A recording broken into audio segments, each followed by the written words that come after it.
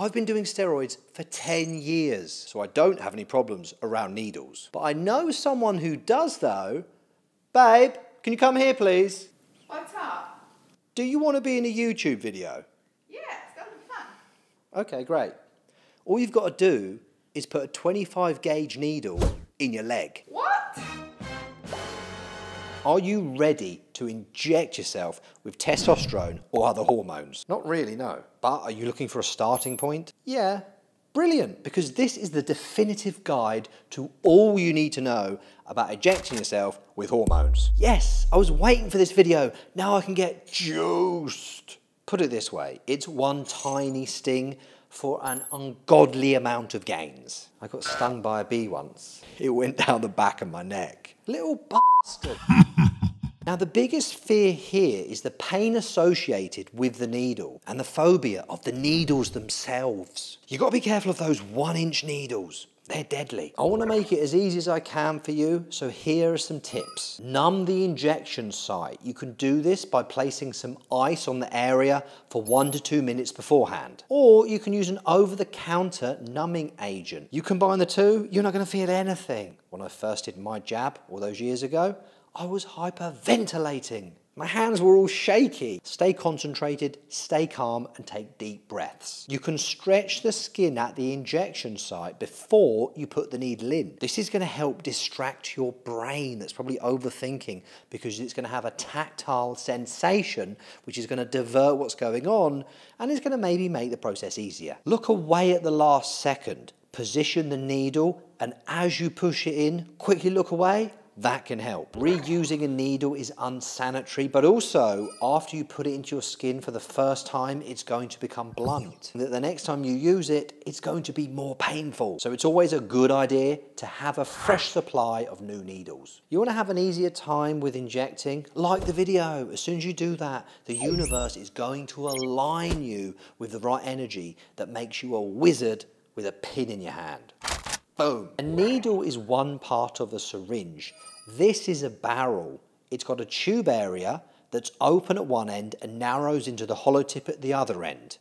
There's lines on it that are going to help you see the volume of gear within. It's got a plunger and a rod that sits between the barrel and operates like a piston. So you can push and pull it and get your magical formula in and out the barrel. The needle diameter is measured with gauge numbers. These confused me for years because I didn't have me to tell me the answers. The higher the gauge number, the smaller or thinner the hole. The lower the gauge number, the bigger or thicker the hole. The bigger needles are required if you want to inject larger volumes of testosterone or whatever compound into your muscle. If you use a higher gauge needle, it can reduce the pain and the swelling. The gauge number is going to tell you the length of the needle itself. It's important to have everything prepared before you start. Your testosterone or other anabolics, the needles and syringes, alcohol swabs for sterilizing the top of the vial and your injection site, a cotton ball for applying pressure after you've done your injection. Also, you may need a plaster. That's what English people call them, but they're also called band-aids in case you start bleeding afterwards. And also a sharps container to make sure you're disposing of everything safely. If you've got a glass ampule, I recommend you go on Amazon and buy a sterile 10ml vial. Then crack open the 1ml amps and load them into that sterile vial. It's just to make things more efficient for you in the future. Clean everything. So wash your hands, then clean the top of your medication vial with one of the alcohol swabs and let it dry completely. Next, you want to scrub the injection site with a fresh alcohol swab. Let that dry completely as well. And maybe you want your ice or numbing agent ready too. Subcutaneous injections are less painful. You're using a smaller gauge needle. There's no risk of damaging a muscle because you're injecting it into fatty tissue. There's also no risk of accidentally hitting your sciatic nerve. Subcutaneous injections are not that great if you're loading in more than one mil of the gear. Because if you put larger amounts into certain areas, they're going to run a risk of not being absorbed properly, and this is going to cause you discomfort. And sites are more susceptible to infection versus intramuscular injection. I'm a rapper. The intramuscular shots Now you're talking my language. These are what I prefer. The magical potion can be absorbed much easier and quicker into the bloodstream versus subcutaneous. I find there's actually less irritation when I'm doing my intramuscular shots. If someone has not done their homework properly, there's more chance of hitting a sciatic nerve. So do your homework. Your ultimate goal in all this is to avoid any arteries or veins. So with your intramuscular injections, aim for your upper outer thigh and the upper outer portion of your glute. Also, another target is the deltoids. And for subcutaneous injections, you'll want to inject your stomach or your shoulder. Now with either intramuscular, subcutaneous, you'll want to rotate those injection sites. If you keep going back to the same area, this is gonna cause more trauma in that tissue, increasing the likelihood of you feeling discomfort or pain. So if you're doing intramuscular, put it in your glute on the left hand side and then put it in the right hand side. Then next time put it in the left delt and then the right delt. Generally quads are going to be a little bit more painful. You could just hit the wrong area and go round with a dead leg for a couple of days. If that happens, nothing to worry about. That's why the best two sites are generally the glute and the shoulder. How do you actually do it? Because you've been talking a lot, but not a lot of injecting's been happening. Well, if you're ready to inject, I'm to show you right now. Wash your hands thoroughly. Make sure your vial of magic potion is at room temperature. Don't be storing it in the fridge. Clean the top of the vial with an alcohol swab and then wait so it dries completely. Attach whichever needle you're using to the syringe. It's time to draw back the plunger a little bit and fill the syringe with air. So we want the same amount of air in the syringe as the same amount of gear that you're planning to inject. With your vial on an even surface, insert the needle into the rubber stopper at the top. Push the plunger down and force all the air into the vial. Pick up the vial with the needle inside and turn it upside down. Make sure the tip of the needle is fully covered with the liquid that's in the vial. Steadily pull the plunger out, drawing the medicine into the syringe. Make sure you're not drawing in any air bubbles because this is going to potentially throw off measuring your dosage. Pull back the plunger until it matches the line of your desired dosage. Remember at this point, because testosterone is thicker if it's a long ester, it's going to take a little bit longer if you're using a subcutaneous needle. Once your desired dosage is within the barrel, slightly pull back the plunger further to withdraw any medicine out of the needle head so you're not going to lose any when you swap the head over.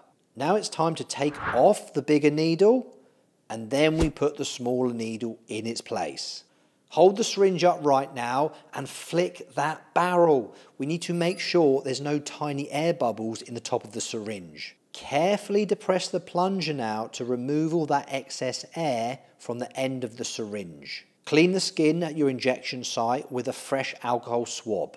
Hold the needle at 90 degrees to your body. When you're ready, insert the needle all the way into the skin. A quick safety procedure now before you inject, pull back the plunger. Just a little bit because if you see any blood in the syringe, it's more than likely that you've hit a vein. If that happens, that's fine. I've probably done it a few times in about 10 years, so it's very rare just change the needles over and find a different injection site. But if you don't see any blood, you're good to inject. Push that plunger down now and inject the gear, feeling that muscle protein synthesis just go through the roof. Now we're cooking with gas. You've got testosterone or whatever compound in you, things are great. Remove it at the same angle that it was inserted in. Go ahead and place a cotton ball to stem any bleeding from the injection site. That's it, you're done. Congratulations, it was that easy. We want to dispose of the needle properly, so cap your needle and put it in your sharps bin. You can get a sharps container from most pharmacies,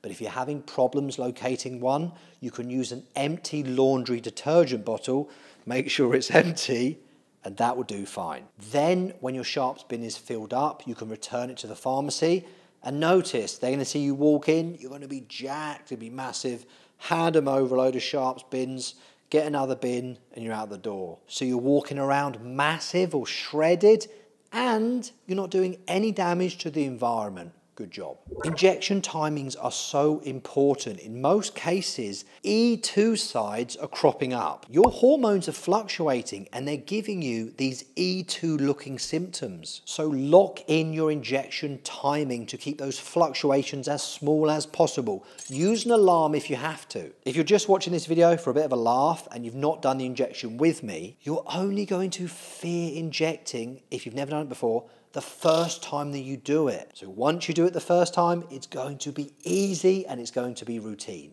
If you want the option of making your mission to enhance yourself a whole lot safer and a lot less time consuming, apply for coaching. Imagine having the great Dr. James as your coach throughout your cycle. I can't think of anything worse. In any case, if you think you're ready, apply for coaching. The details are in the description box below. By the way, if you've applied for coaching and I've not got back to you, I did have some delivery issues with certain email services. So if that's the case for you, I'm going to put my Instagram in the description box below and you can reach out to me there. Next video coming up is all about steroid myths. A guy said to me yesterday, if I do a 12 week testosterone will I get erectile dysfunction?